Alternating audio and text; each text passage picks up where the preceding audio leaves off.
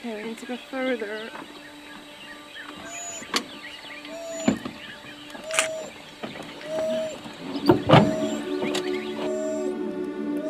They are critically endangered species. There are 550 to 600 ducks left in in Africa, um, and about well, five to six thousand left in the world.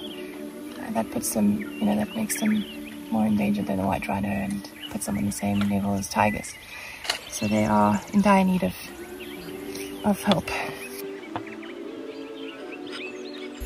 So these uh, collars are VHF and satellite collars, and we use them to monitor these animals with direct observations in terms of tracking uh, equipment, telemetry, and via satellite, so GPS points which um, which I can check online, um, so we can make sure they stay safe.